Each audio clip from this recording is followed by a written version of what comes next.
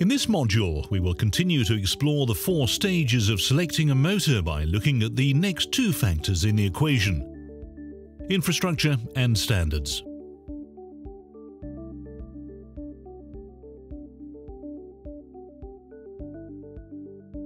Network voltage and frequency vary around the world. Also, industries and applications may require voltages that are unrelated to the country where the motor is used or purchased.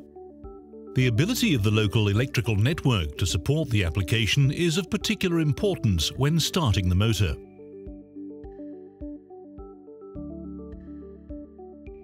For fixed-speed motors, an excessively long starting period will cause harmful temperature rises and the high currents can cause electromechanical stress.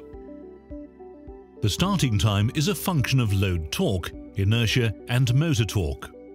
Between starting speed and nominal speed, it must be ensured that even under unfavourable conditions, such as low voltage on motor terminals, the motor torque is always sufficiently high to cope with the highest possible load torque.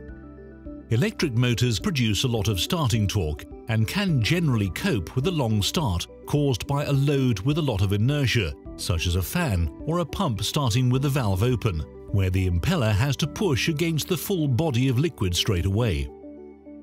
This higher torque requires more electrical supply current so care must be taken to ensure that the local infrastructure can support these current peaks. Often network restrictions on starting current will influence the specification of large motors. The growing practice of using smaller induction motors with variable speed drives is increasing the amount of reactive power taken from the network.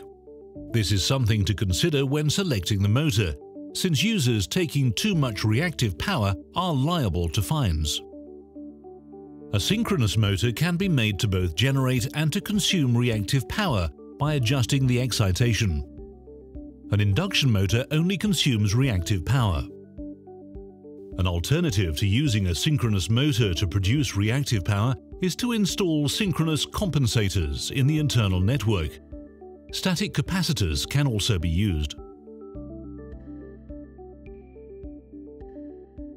So now we know the requirements of the application, the torque, speed, power and electrical characteristics of the motor we want, we can narrow down our selection by turning to the international standards that govern the dimensions, efficiency and performance of electric motors.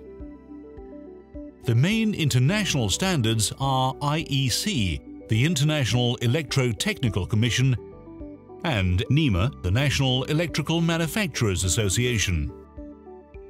However, in addition to the main standards, there can be national or industry-specific standards and even customer specifications that affect the motor selection. Make sure you follow all applicable standards and specifications for your project.